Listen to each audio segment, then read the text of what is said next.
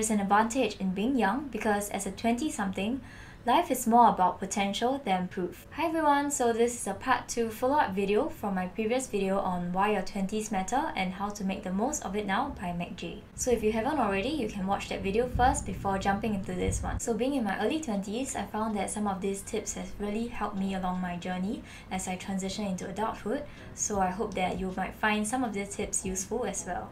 So building up on a point of young people having an identity crisis, what we should actually do instead is to try to build our identity capital. So what exactly is an identity capital? So at some point in our life, you have probably written a bio for your social media profile or read a famous author's bio in a book. Through these bios and short summaries, we describe how we perceive ourselves and how we want the world to perceive us.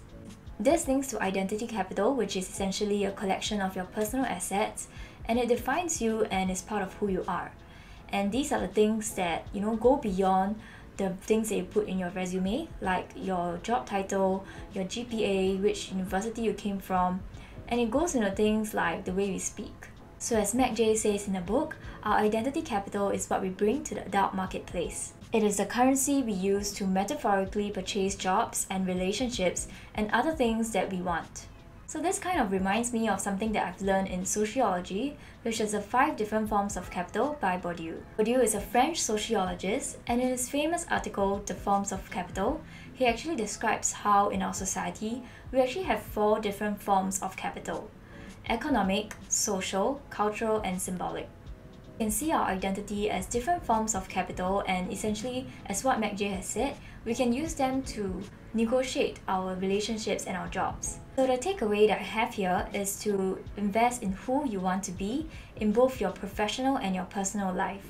So for example, in your professional life, you can choose to attend courses, um, training and upskilling, and constantly keep up with changes in your industry and this can be considered as building up your economic capital, which helps you to get better job prospects in the future and also be in a better position to negotiate for a promotion or a salary raise. Of course, there's also the soft skills that you can develop, which will have a positive impact in both your professional and your personal life such as learning how to communicate effectively, learning how to do public speaking, and these are the things that will increase your confidence and also build your identity.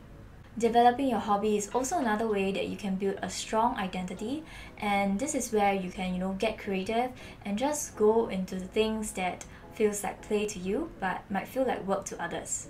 Another learning that I have is to seek out weak ties and instead of only talking to your close friends every day, you should try to reach out to people that you don't know, such as your alumni network or your friends of friends.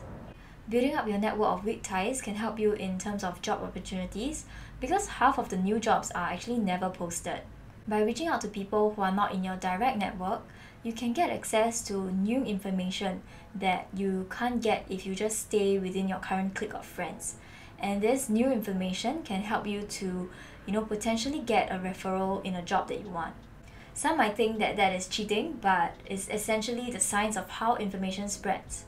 It's said that the world is so connected that we are only separated by 6 degrees of separation and I don't know how accurate that number might be, especially you know with social media.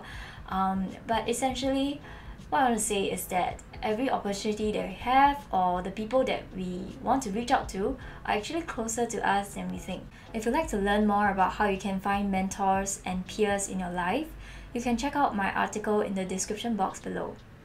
So the next takeaway that I have is about being intentional with our relationships and focus on it as much as we focus on our work. Intentional with our relationships means that we are not treating love as a game or something to just kill time.